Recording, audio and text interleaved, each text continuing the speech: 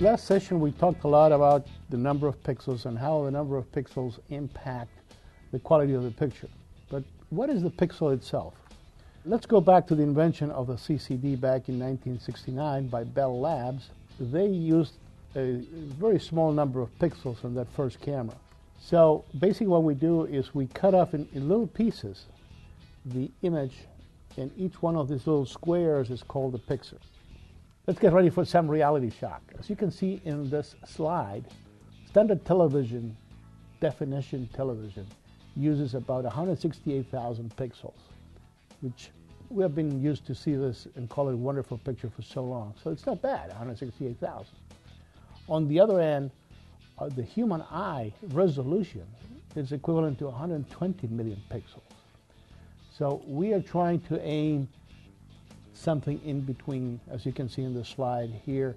And the first experiment from Kodak in, in 1982 is also listed here uh, with 3 million pixels and being a, quite an achievement at that time. So our VGA, so well-known VGA monitor, is 640 by 480. So not a lot of pixels, but still beautiful images anyway. So don't think, the purpose here is don't think more pixels make a better picture. In the case of our HD18 camera, we use 1.3 megapixels in a 1 3rd inch imager.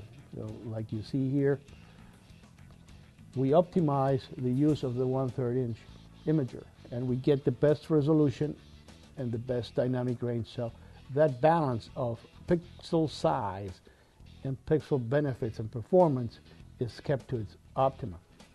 So let's look at the CCD. The CCD is constructed in a different way than a CMOS.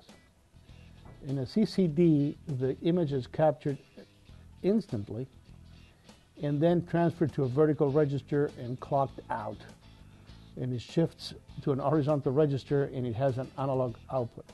In the case of this pixel of the CCD, the photosensor is really where the light comes into the pixel. And the pixel size is larger than what the photosensor is, as you can see in this slide here.